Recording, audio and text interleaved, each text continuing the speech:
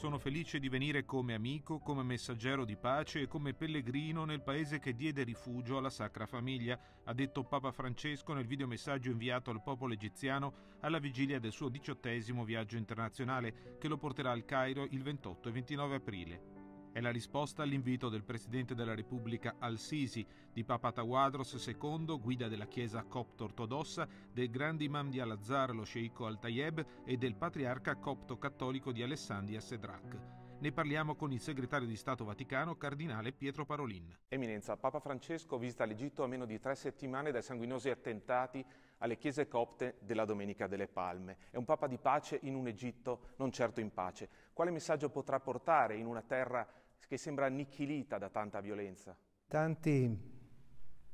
hanno pensato che Papa Francesco, dopo i sanguinosi e brutali attentati che hanno scosso l'Egitto in quest'ultimo periodo, in queste ultime settimane, avrebbe forse eh, messo in discussione il suo viaggio in, in, quella terra, in quella terra. Invece il Papa non ha mai pensato di farlo, proprio perché il Papa vuole rendersi presente, vuole essere lì dove eh, ci sono situazioni di violenza, ci sono situazioni di conflitto e in questo caso proprio nel, in Egitto. E vuole essere appunto messaggero di pace, messaggero di pace dove c'è più bisogno di pace, dove c'è più bisogno appunto di annunciare e di operare per la pace. E certamente lo farà con la sua parola, avrà occasione di farlo con la sua parola nei vari incontri, ma lo farà soprattutto e prima di tutto con la, con la sua presenza, ecco, una presenza eh, di vicinanza, una presenza di solidarietà, una presenza di incoraggiamento. Quindi il Papa va proprio perché ecco, l'Egitto ha bisogno di qualcuno che annunci la pace e cerchi di operare per la pace. Il governo egiziano potrebbe fare di più per proteggere le minoranze cristiane dagli estremisti o l'unica strada per fermare il terrorismo è quella dell'educazione delle coscienze e dei giovani? Il governo deve fare tutto il possibile appunto per proteggere i suoi cittadini, i cittadini egiziani a qualunque gruppo sociale, a qualunque gruppo religioso appartengano. Però evidentemente quella del terrorismo è una sfida molto molto più ampia che non si risolve solo a livello di sicurezza o che non si limita solo a livello di sicurezza è una sfida che impegna a rimuovere un po' tutte quelle che possono essere le cause del nascere, dell'alimentarsi del, del terrorismo ed evidentemente anche il governo, anche le autorità devono impegnarsi su questo fronte.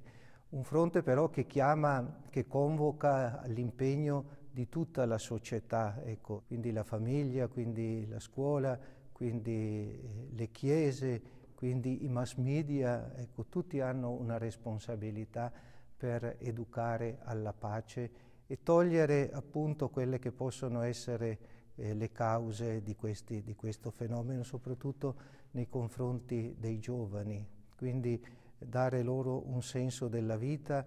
proporre loro dei valori per i quali eh, vale la pena vivere, impegnarsi e lottare e non invece appunto perdersi in questo vortice di violenza e di distruzione che è davvero insensato. Papa Francesco, insieme al patriarca di Costantinopoli Bartolomeo, incontrerà una delle voci più ascoltate dell'Islam sunnita, l'imam di Al-Azhar. Possiamo aspettarci un appello comune alla pace rivolto ai credenti di tutte le fedi? Io credo di sì, che ci sarà una, un appello,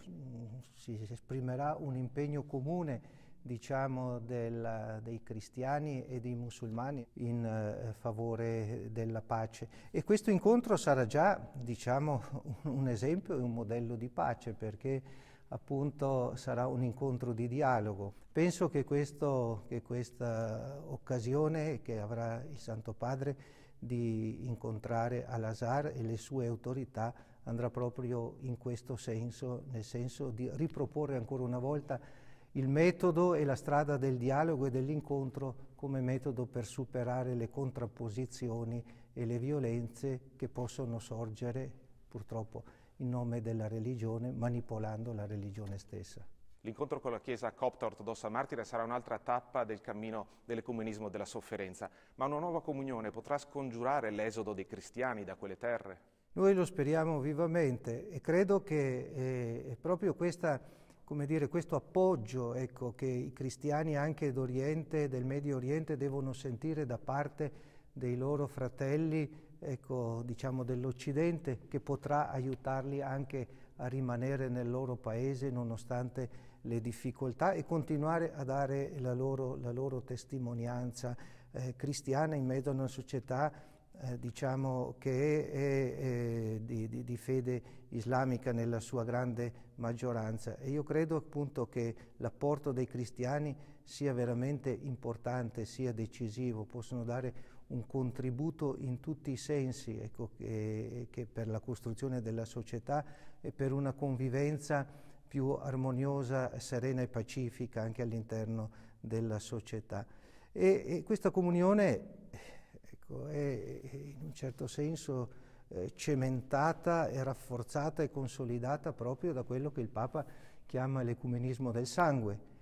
E questo, questa violenza che si scaglia contro i cristiani in quanto cristiani, al di là delle loro, delle loro diciamo, differenze, differenti appartenenze diciamo, confessionali, ecco, perché credenti in Cristo, perché discepoli di Cristo sono fatti oggetto eh, di, questa, di, questa, violenza, eh, torno a dire davvero brutale e insensata.